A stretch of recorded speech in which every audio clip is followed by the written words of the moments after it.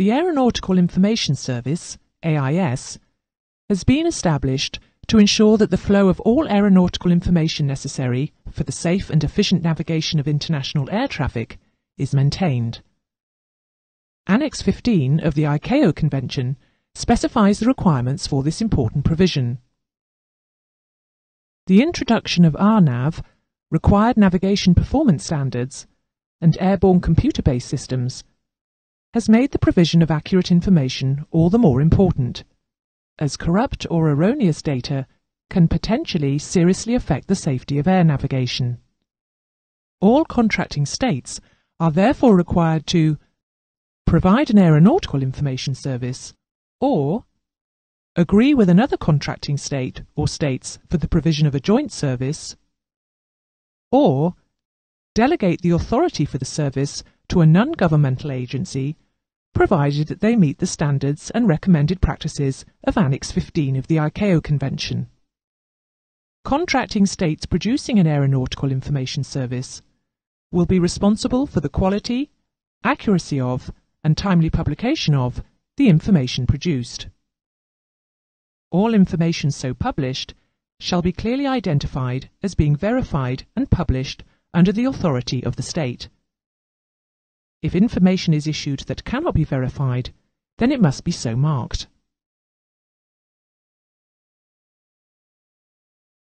Where a 24-hour service is not available locally, a contracting signatory is mandated to provide an aeronautical information service for the whole period aircraft are in flight, within that state's regional area of responsibility, plus a period of at least two hours before and after such flights.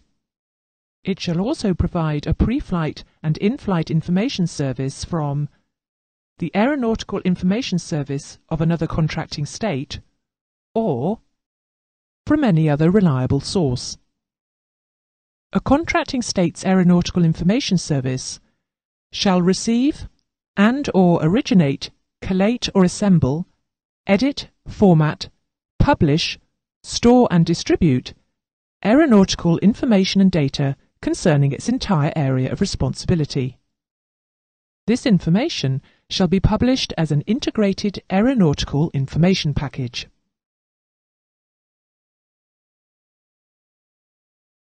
The effective dissemination of aeronautical information is essential to aircraft operations and safety, and the integrated aeronautical information package contributes to this being achieved. It consists of the Aeronautical Information Publication, AIP, and an amendment service, supplements to the Aeronautical Information Publication, NOTAMs and pre-flight information bulletins, Aeronautical Information Circulars, AICs, checklists and summaries.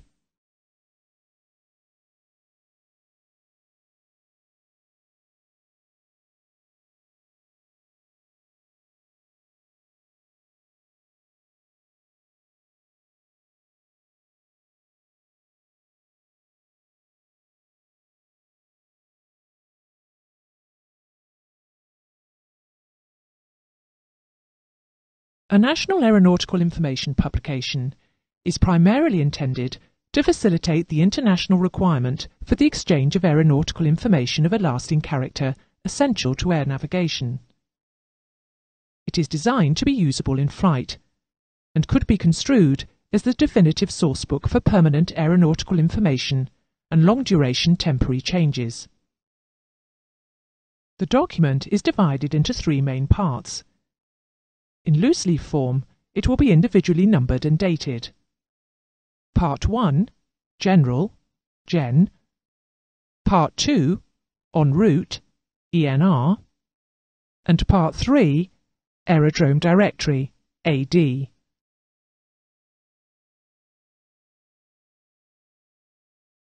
Here is the content of the general section of the AIP in some detail. Scroll up and down to see what it contains.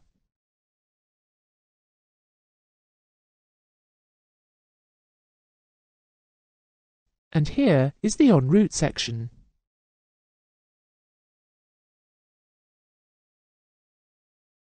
And finally, the aerodrome section of the AIP. The aeronautical information publication is to include in Part 1 the following. A statement defining the competent authority responsible for the air navigation facilities, and a list of the services covered by the aeronautical information publication, the general conditions under which the services are available for international use, an easily understandable list of the significant differences between the national regulations and practices and procedures of the state, and the related ICAO standards, recommended practices and procedures, the state alternatives to any differences from the ICAO SARPs.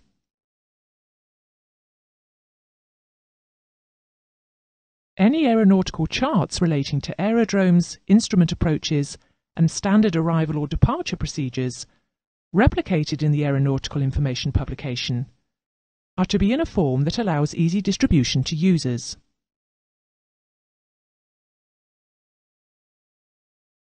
Any changes made to the aeronautical information publication, be they new information or small corrections, shall be identified by a distinctive symbol or annotation. Naturally, the aeronautical information publication will be kept up to date and or reissued as necessary.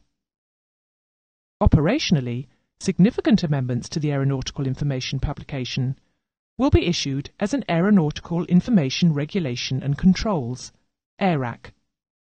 Each of these will be identified as such by use of its title, AIRAC, and its effective date. Temporary changes of three months or longer and short-term amendments that contain extensive text or graphics are published as supplements to the aeronautical information publication. Each is serially numbered, coloured yellow, and added to the aeronautical information publication as supplement pages for the duration of the change. Supplement checklists are issued monthly so that obsolescent information can be deleted.